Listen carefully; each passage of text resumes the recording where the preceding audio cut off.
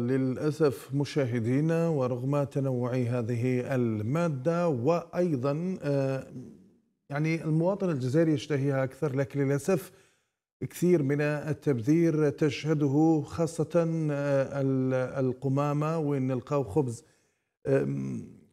يعني ملقيا في آه، أو يتم رميه عفوا في المزابل أكرمكم الله. للحديث في هذا الموضوع. بالتحديد موضوع تبذير الخبز مشاهدينا راح نتحدث عن تبذير الخبز اللي أصبح من العادات الرمضانية السيئة للجزائريين. ثم نتحدث عن العادة التي لا يتخلى عنها الجزائريين وهي رمي الخبز في المزابل خاصة ونحن ندخل في شهر رمضان في يومه الثالث والظاهرة بدأت في الانتشار ووزارة البيئة حسب انتقادها الأخير قبل يومين قالت بأن أو تبذير الخبز بلغ 600 طن يعني يوميا خلال شهر رمضان. كإحصائية آه، تعرفها وزارة البيئة خاصة في مراكز آه، آه، تثمين النفايات. وأيضا للحديث في هذا الموضوع مشاهدينا أسعد بأن يكون معي عبر الهاتف محفوظ حرزلي رئيس الاتحاد الوطني لحماية المستهلك وأيضا يوسف قلفات رئيس الفيدرالية الوطنية للخبازين. أهلا بكم سيدي رمضان كريم. رمضان كريم. أه، سي يوسف أه، نتحدث كما شفنا في التقرير كثير من الجزائريين يتشهوا الخبز بأنواعه ويكثر عليكم الطلب خاصة في فصل أو عفوا خاصة في شهر رمضان بالتحديد. كثير من الجزائريين أه، يقصدوا المخابز ومرات نشوفوا الأب يشري الخبز الابن يشري الخبز الأم تشري حتى هي الخبز. كثير من الطلب على المخابز. ممكن تعطينا حصيلة أو أرقام خلال الثلاث أيام هذه من آه، الأولى من شهر رمضان؟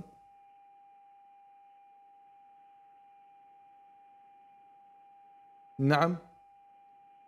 لا بس في انتظار طبعا يعود السي يوسف قلفات آه، نروح نشوفوا سي محفوظ حرزلي رئيس الاتحاد الوطني لحماية المستهلك. آه، أهلا بك سي محفوظ. أهلا. اذا رمضان كريم. شكرا لك ورمضان الكريم سي محفوظ دائما آه، نفس آه، ربما الموضوع ونفس الظاهرة اللي هي قضية آه، تبذير الخبز اللي يشوفوه في شهر رمضان. دائما كل ما يعود شهر رمضان نشوفوا ظاهرة تبذير الخبز ونشوفوا أيضا يتم رميه في المزابل ما تعليقك على هذه الظاهرة؟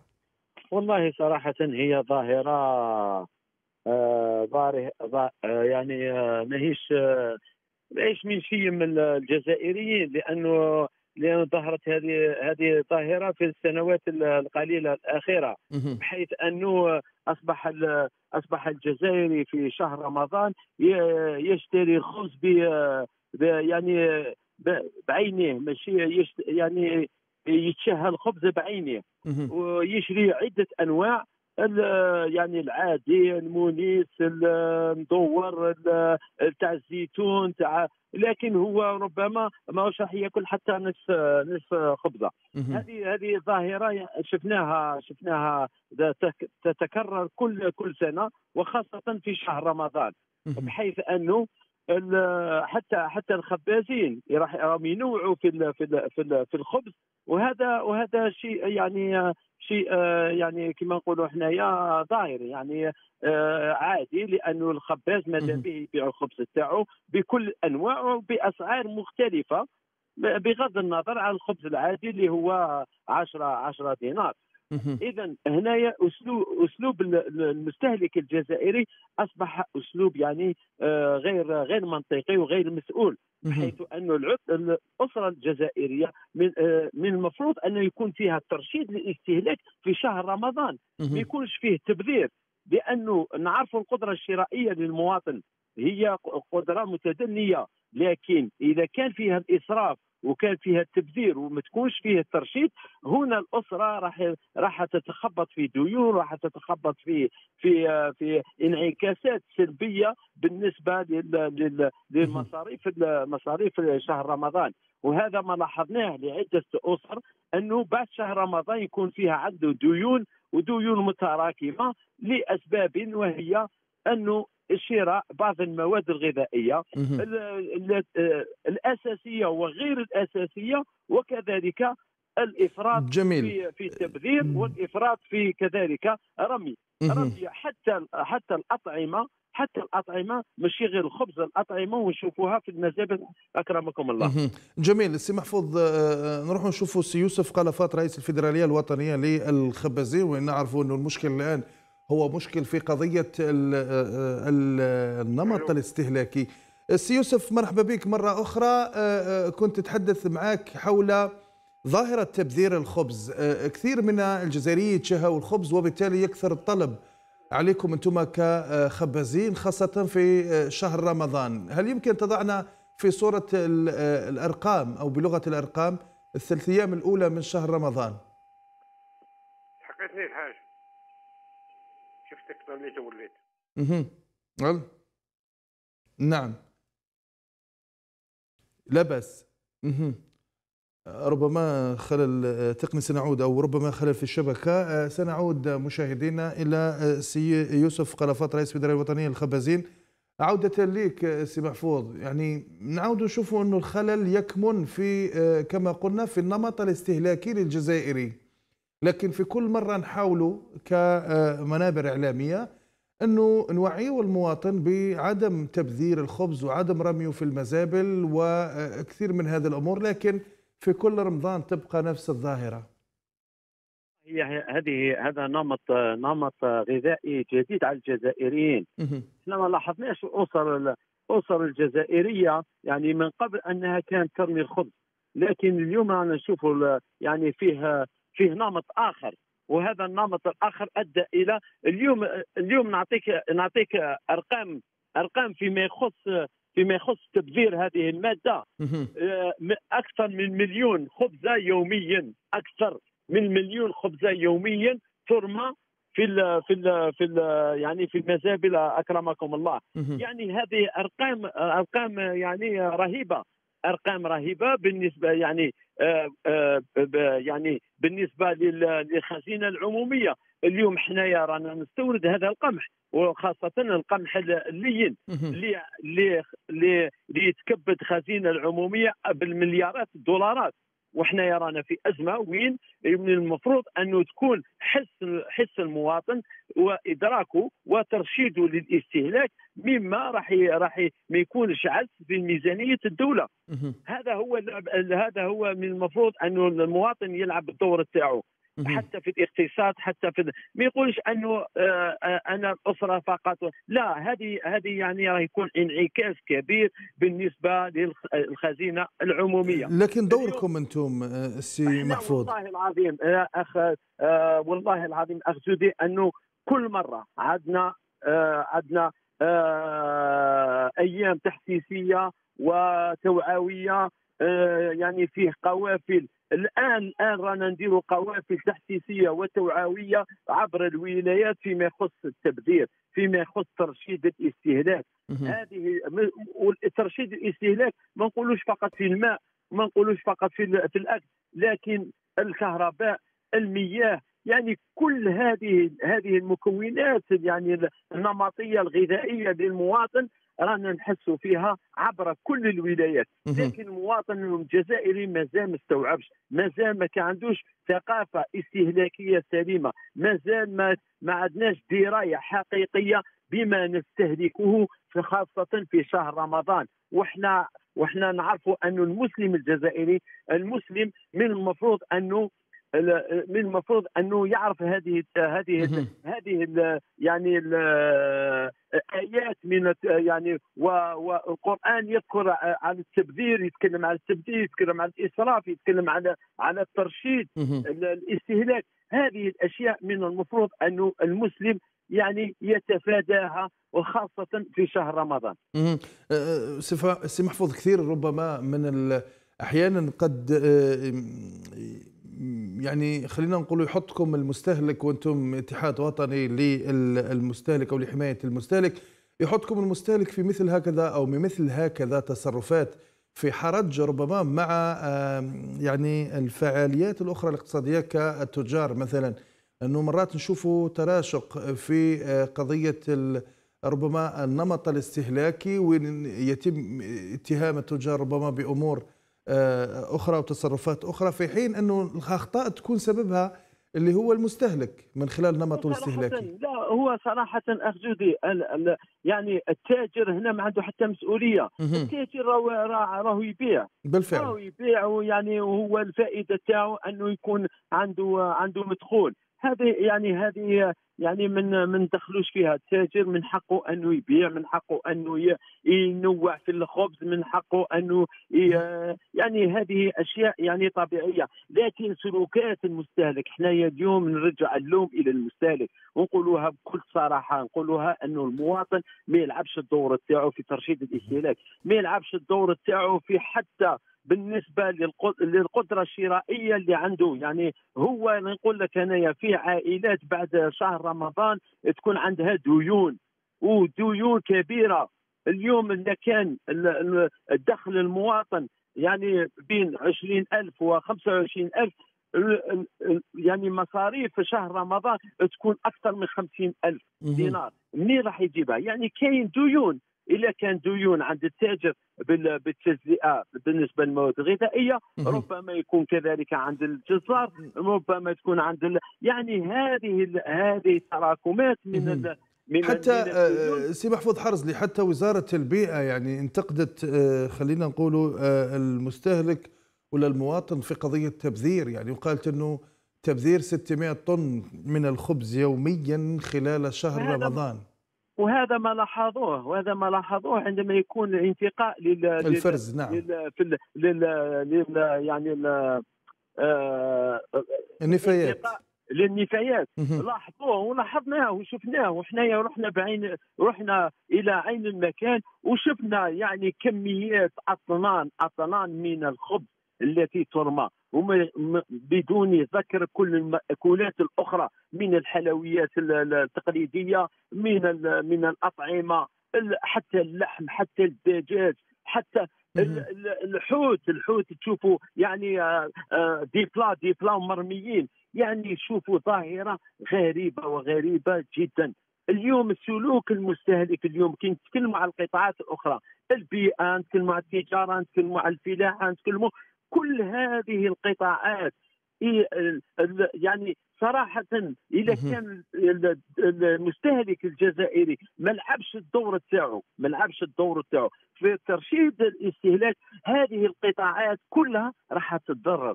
راح تضرر من من الناحيه الاقتصاديه يعني راح تضرر من الناحيه البيئية راح تتضرر حتى من ناحية الكميه الكميه بالنسبة للسوق الوطنية يعني راح يتأثر. الخزينة العمومية كي نتكلموا عن الخزينة العمومية بالفعل. نتكلموا على العملة الصعبة. هذه الأشياء من المفروض انه المستهلك يتداركها وتكون عنده بالفعل. آه، آه، إدراك وتكون عنده نتمنى آه نتمنى أن يجد ذلك سي محفوظ. حرز نتمنى أن يجد ذلك أذانا صاغية آه، من قبل المستهلك. شكرا جزيلا لك سي محفوظ حرزلي رئيس الاتحاد الوطني لحماية المستهلك. كنت معي عبر الهاتف صحفتورك وأنتقل إلى سي يوسف قلفات رئيس الفيدرالية الوطنية للخبازين طبعا موضوع مهم جدا مشاهدينا قضية تبذير الخبز وين آه، ترجع في كل رمضان.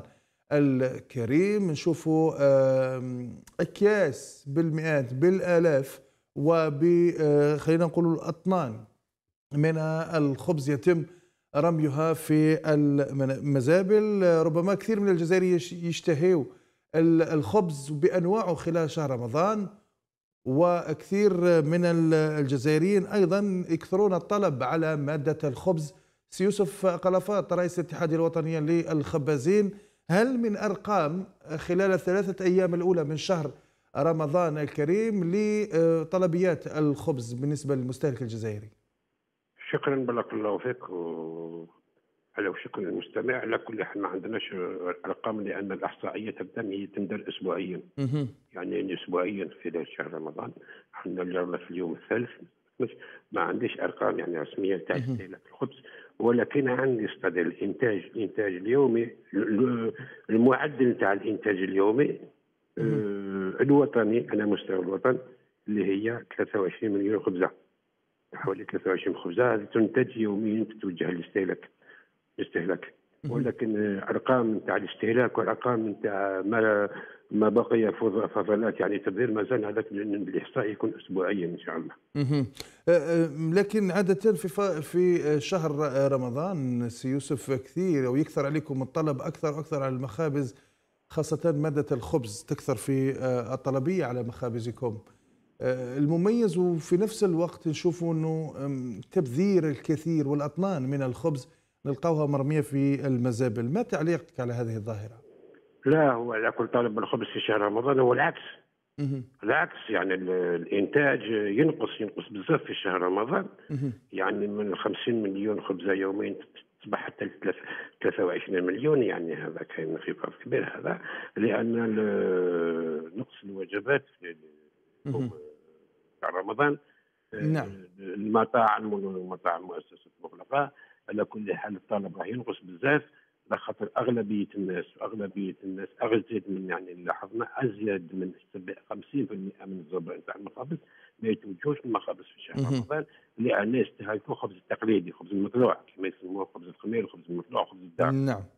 والله donc كاين هذا donc لهذا كاين نقص في إنتاج الخبز نتاع المخابز والإنتاج هو 23 مليون خبزه يعني بدلا لكن سي يوسف سي يوسف أنت قلت لي إنه الإنتاج أو الطلب ينقص في شهر رمضان لكن بنفس الوقت نشوفوا إنه آه، تبذير كبير يحدث خلال شهر رمضان. نعم نعم فعلا. ولكن هذاك الطالب القليل اللي يعني كما نقولوا الأشهر الأخرى خارج يعني على شهر رمضان 50 مليون خبزة يوميا نبذلوا منها 20 مليون خبزة يوميا يعني 20% آه، تروح ولكن في رمضان من 50 حتى 23 مليون 23 مليون خبزه هذاك هذيك تبقى ال 20 مليون هي تبقى تبذير يعني كلها تروح تبذير لأن هو ما يستهلكش الخبز المواطن الجزائري.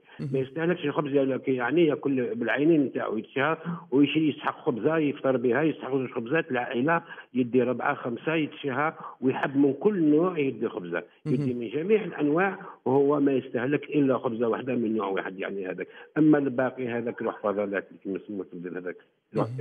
روح فضلات هذا هو المشكل هنا. أكثر تبذير وأقل استهلاك. يعني أقل استهلاك. يعني في الشهر خارج على شهر رمضان. نشريو يعني خبز الكمية نتاع الخبز اليوميه اللي نستهلكوها نأكل منها يعني 80% ونفضل منها 20% يعني. لذلك في شهر رمضان العكس. نأكل 20% ونفضل 80% وهذا يكثر يعني الكمية تاع نتاع التبذير في شهر رمضان. ولكن تنقص تنقص تنقص بزاف الكميه تاع الاستهلاك. ما ياكلوش ولا اليوم نستهلكوا يعني يعني كل اغلبيه الجزائريين يعني في الوجبه نتاع الفطور نتاع نتاع رمضان. آه، بداية كل نبداو ناكلوا بالشربه ولا بالحريره ولا كذا. ولكن الجزائريين نصبحوا كامل يستهلكوا ياكلوا الشربه بالبوراك يعني نقولها ياكلوها ربما النمط ما عندوش المكان نتاعو. ما عندوش المكان نتاعو. يبقى كامل في الأكياس. نعم بالفعل هذا ما شفناه يعني خلال آه، أو ربما في مراكز الفرز للنفايات. شفنا كثير من المواطنين آه، ربما اللي يرميوا الخبز. آه، سي يوسف ربما كلمة أخيرة للمستهلك الجزائري. وش تقدر تقول لهم أنت باعتبارك طبعا رئيس الاتحادية الوطنية للخبازين؟ أنا نتكلم كرئيس الاتحادية الوطنية للخبازين كصاحب مهنة كصاحب مخبزة. وكمستهلك لأن كنا مستهلكين كنا مستهلك. الخبز إحنا ما نقولوش سبب تبذير الخبز هو الدعم لأن الخبز رخيص. ما نقولوش لأن جودة مش جودة مليحة. لا ما شاء الله عندنا جودة رفيعة وعندنا أنواع الخبز. كثيرة كثيرة كثيرة. إحنا هذا السبب تاع التبذير هو يرجع الأخلاقيات تاع الإنسان تاع المواطن. أخلاقيات. وهي سبب هذا التبذير. إحنا كاين مثلا في الطلبة في المدارس أو المرضى في المستشفيات أو آه، الأطفال في المدارس حتى الابتدائية ولا تلميذ ما يعرفش الخبز سعر الخبز قداش طالبة في الجامعة أو طالب في الجامعة ما يعرفش سعر الخبز لأن الوالد نتاعو ولا الوالده هي اللي يشريوا الخبز. هذا كله بالذات حتى وتصبح الخبزة ب 100 دينار وحتى تصبح الخبزة ب 200 دينار. يبقى يبذل في الخبز. هذا هذا تجعل الاخلاق تاع الإنسان ونقول ربي يهدينا واستاذن ربي العالمين حرمه والشيء اللي حرمه ربي العالمين؟ ماذا بينا نبعدوا عليه وقال لك إن المبذلين كالإخوان الشياطين هذه ما كاش اللي ما يعرفهاش يقول عني هذه. إحنا ربي يهدينا ونطلبوا يعني ونستناو ونتمناو باش المواطن ما نقولش المستهلك المواطن الجزائري بصفة عامة تسكن الخبز يعني باش يحافظوا على المد الخبز هذا حافظوا على المد على النعمة هذه حافظوا على المادة المقدسة هذه نقول مقدسه لأنها نعمة ربي ونحافظوا عليها. والخبز هذا راه موجه للبشر بالفعل. الإنسان مش للحيوانات صبحنا نبذلوا الخبز ويجي مؤسسه نتاع جمع النتائج هذيك وتديروا في الأكياس وتبيعوا في الأسواق تاع الماشية بالمزارمي ويتوجه للحيوانات الابقار والاغنام هذه نعمة متوجهة للبشريه يا ناس ماشي. للحيوانات يعني حتى كاين اللي محتاج خبز مشينا ونعرفوا بلادنا ونعرفوا الجزائر مشينا في المناطق المائية. وكاين صدقني أخي الكريم مهم. في بعض المناطق والله ما يلقاو حتى نص خبزه باش ياكلوها صحيح. يمشيو حتى يلقطوا يلقطوا الخبز اليابس من الساشيات عند الديار يطلبوا خبز اليابس باش ياكلوا باش يفطروا باش يتغداو. صحيح. يعني شكرا جزيلا لك. إحنا نتمناو. عيب هذا شيء عيب وعار ما. يقبلوش ربي وما يقبلوا حتى شيء. إحنا نتمناو فيكم. إن شاء الله فقط انه المستهلك يأخذ بعين الاعتبار. هذا الكلام. السي يوسف قلفات رئيس الاتحادية الوطنية للخبازين كنت معي عبر الهاتف. شكرا جزيلا لك وصحة فطوركم.